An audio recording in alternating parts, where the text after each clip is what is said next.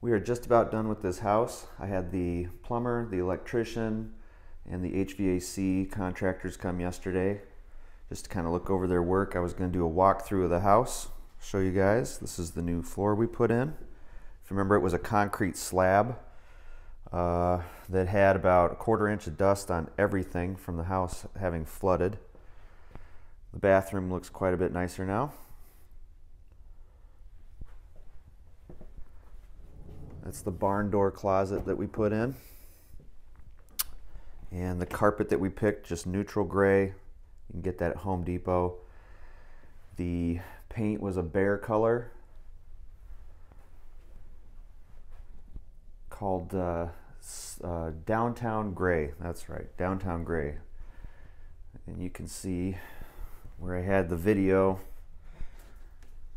all the plumbing work that had to be done there.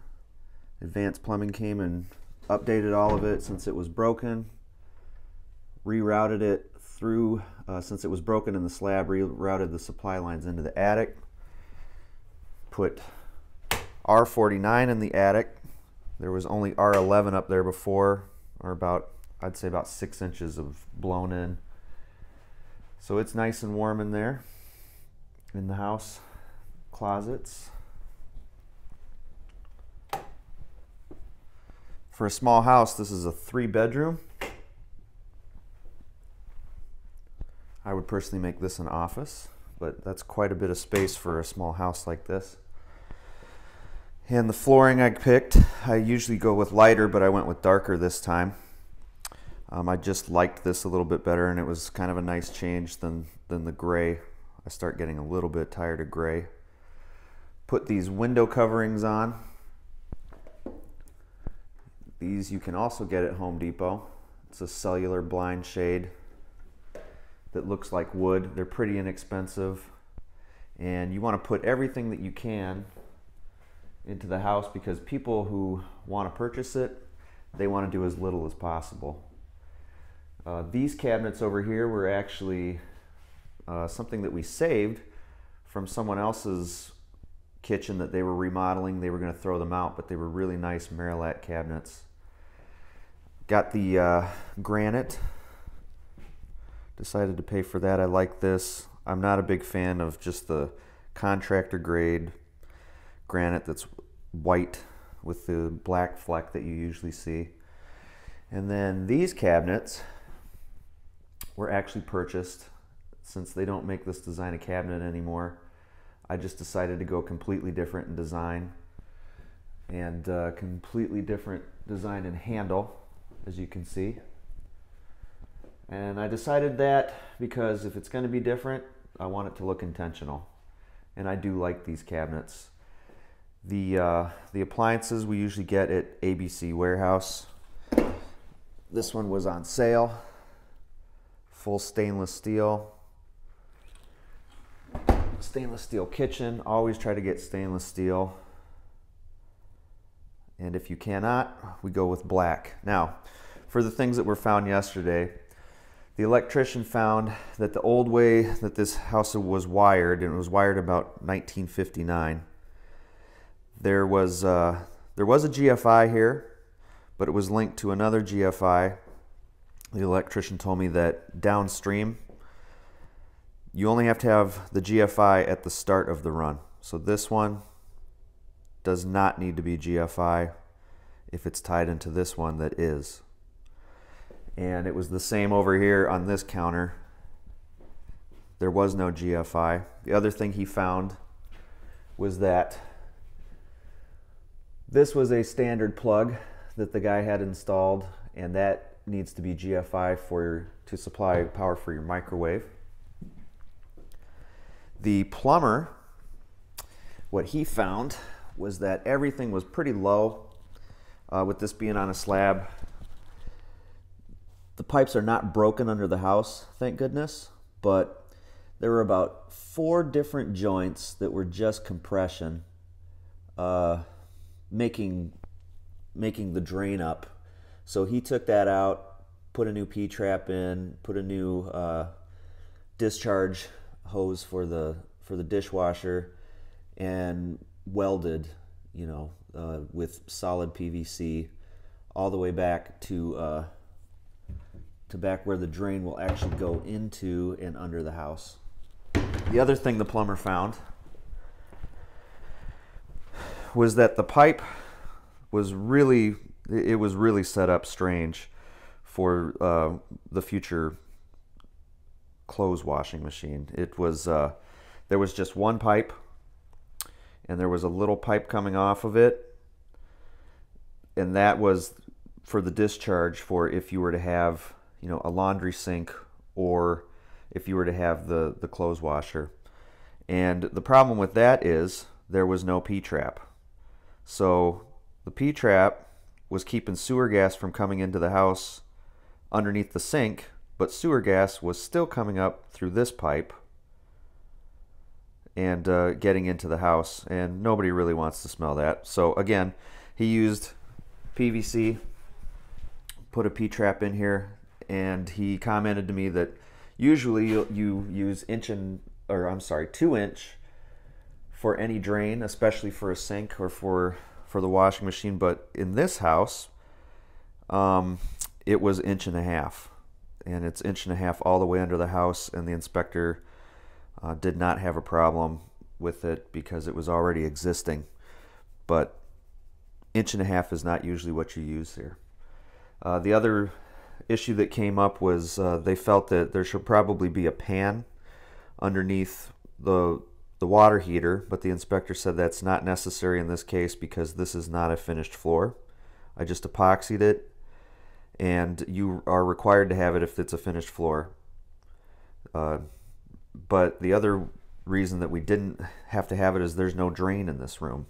So the idea with the code there is that a homeowner will see the water starting to fill up, know that there's a problem, and call a plumber to fix it before it gets all over their floor and ruins everything or leaks into the kitchen and ruins the floor there.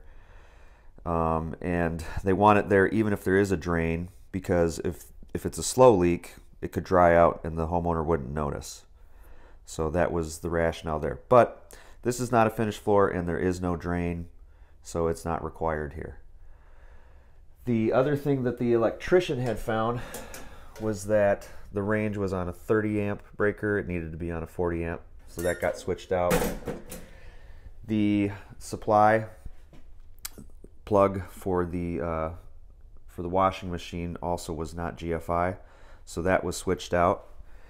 And at the front of the house, there are lights for when you enter the house, but there was no light at the back so this was installed uh, so that if you come into the house, you uh, and it's night, you have light, and you can safely enter the house without tripping and falling. Since we are in a floodplain, the HVAC had to come and lift the AC unit 24 inches um, to meet code. That is not typical, but I just figured I'd show it to you. So this house is about ready for me to call on the final inspections. The electrician's going to call on his final today. Uh, the plumber is going to call on his tomorrow. And uh, the HVAC and plumbing inspector are the same person. So he will be looking at both of those. But you can see what we did here. Um, if you refer to the first video that I put on, this house had almost no drywall. A lot of the walls were rotted. Uh, nothing was treated in here. No bottom plates were treated everything was was old or or not here. The uh, the furnace was sitting in the middle of the floor. Uh, fortunately, it was brand new, and I didn't have to pay anything to have that fixed. Uh, just had to pay to get it installed. Didn't have to buy a new one. So you can see we're almost there. And when everything is cleaned up and it's on the market, I'll do one last video showing uh, showing everything that we've done. But it's been a long process. Purchased in July, it's now January, so it's it's. Uh, I'm happy to see the end of the the light at the end of the tunnel here. There's just a couple little fixes to some trim, some touch-up painting, but there we are. Well, the inspector just left and we passed our final. So this house can be occupied. I'm going to show you everything that we did. Here's the new paint color.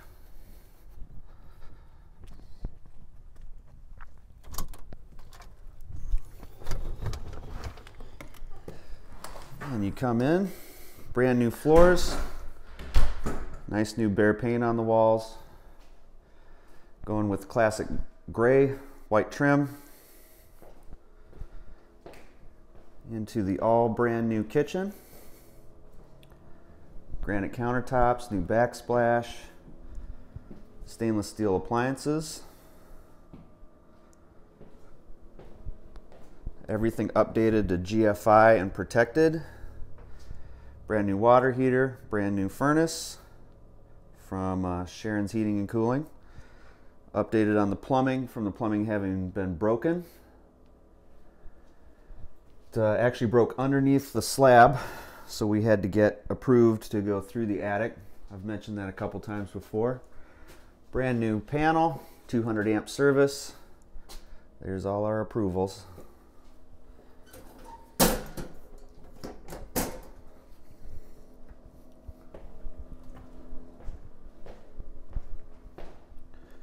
Brand new interior doors.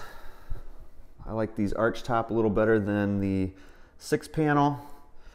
I think they just look a little bit nicer. It's a bathroom. This is the only room that is virtually unchanged. Uh, just a couple updates.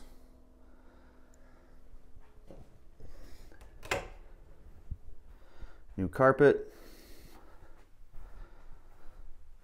The cellular blinds that I spoke about earlier last video. I'm going to combine these two videos though. Here. Closet space in the hall. That's how I solved the issue of not having a lot of space to have a door open. So we put a barn door in. This is the master bedroom.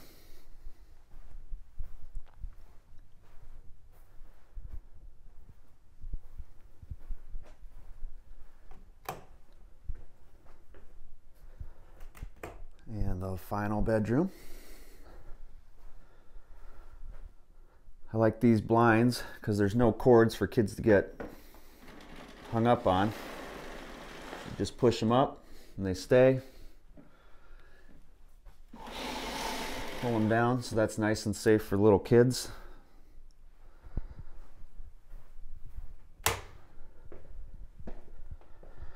So this is the house. Took about six months.